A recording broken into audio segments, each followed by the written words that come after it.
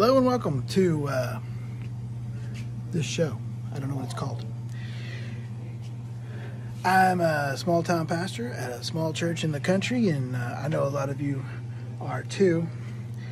Small country church pastors. We do it all, don't we? we we're responsible for usually more than one hat or one job. So, anyway, I thought I'd start uh, all these lessons that I'm learning. Uh, I thought I'd start sharing them. Uh, like some of the, so maybe we can create a community of sharing. So the first one I'd like to kind of point out to you here. See if I can. How do I turn this thing around? I don't even know. I gotta figure out how to work my own camera first. All right, I'll just do it this way. Uh, when you have a setup like this, uh, can can you see that? You got two. Um, this is the first little project that uh, when I decided to do these videos, this is the first one that came up. So, as you can see, it's running and it's not supposed to. And buttons make more water, but not less water. So, until I can figure out what's wrong with it, I need to turn it off so I don't waste a bunch of water. Well, when you got two rigs like this set up next to each other, they're usually connected to one cutoff. And whichever one is running, you can guarantee it's the other one that has the cutoff. I'll show you what I'm talking about.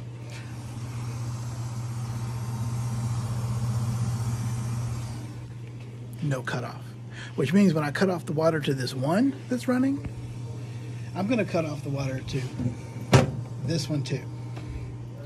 And there's nothing I can do about that. So we're just going to be without water until I can get that one fixed. Oh well. But so my lesson, my tip here is when you go to cut these off, then what you need to know is whichever one you open, whichever one you choose to open down here, you know, that one or that one, you know it's going to be the other one. So go ahead and get the panel off the first one. So by process of elimination, you know it's going to be the other one. It's just the way it goes.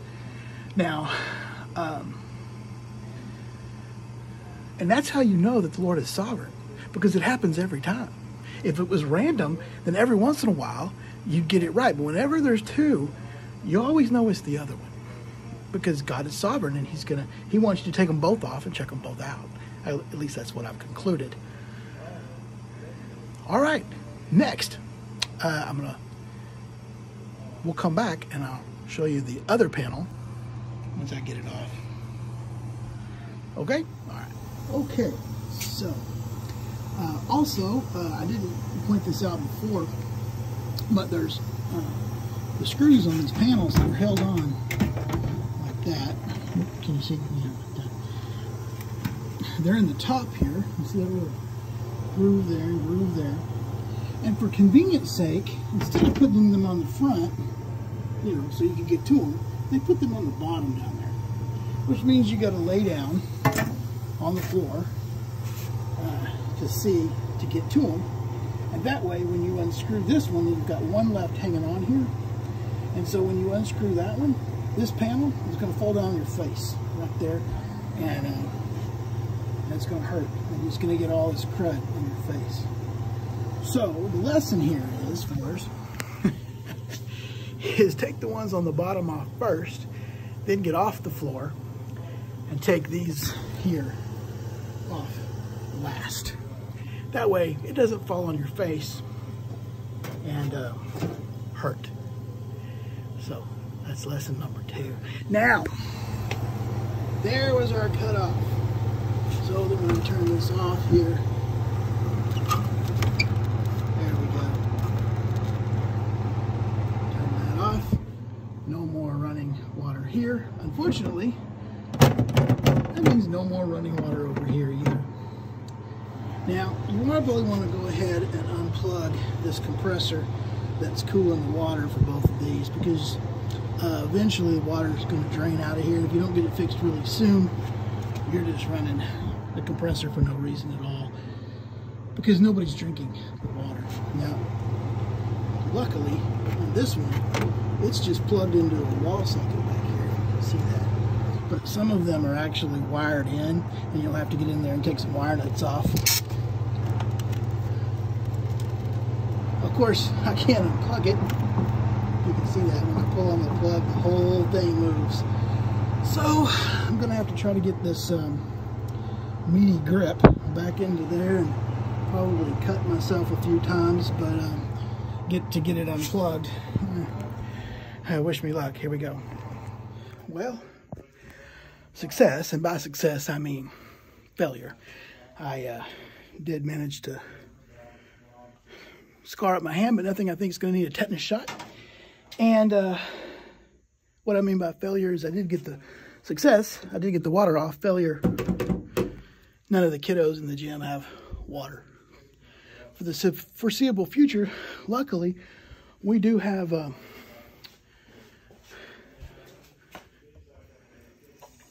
fresh drinking water right there. So, you know, we all need to learn to persevere and suffer for Christ. So, there you go.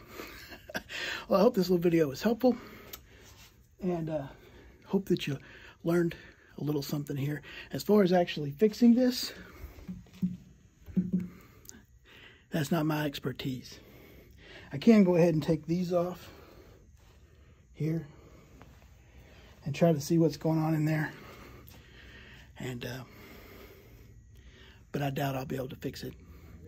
But nevertheless, there's not, it's not like I don't have two other things I'm supposed to be doing. So I'll go ahead and, and give it a shot. We'll see what's in there, okay? Give me just a sec. All right, well, with lots of these things, the key spiritual thing to keep in mind is to fear God only. Do not fear a water fountain.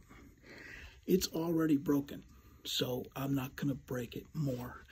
Plus, I've got the power off and the water off, so hopefully I'm not going to break me more. All right, let's see what's in here.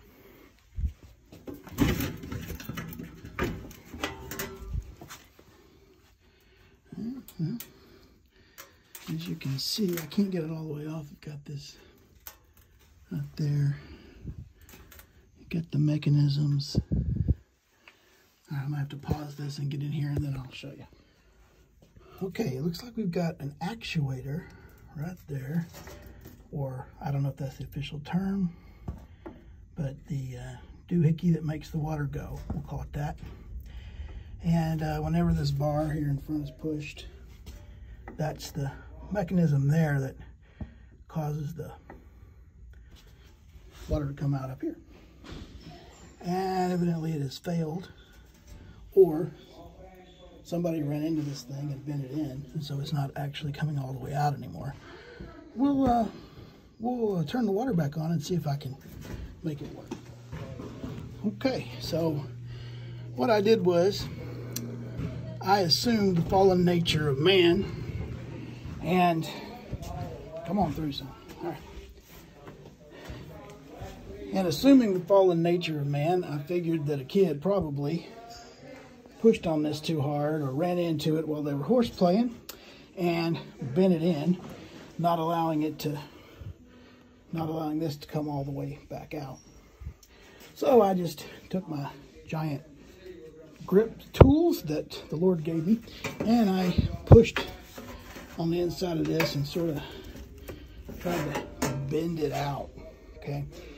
Now, when I turn the water back on down over there, and looky, looky, we got water on and we got water offage, okay, which is what we wanted. Now, will that stay when I uh, put all this back together?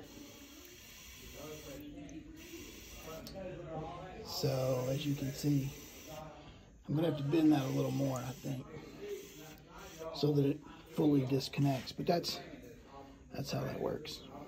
Okay, so I'm to try to bend that out that way and maybe even bend that. It's all tin in there, I don't know if you can see, but pretty easily bent.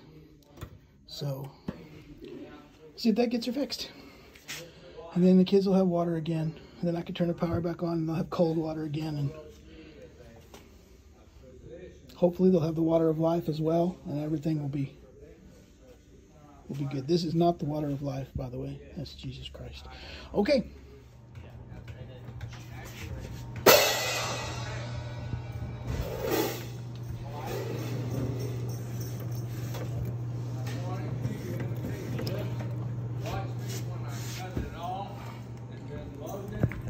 Band's practicing. Shh.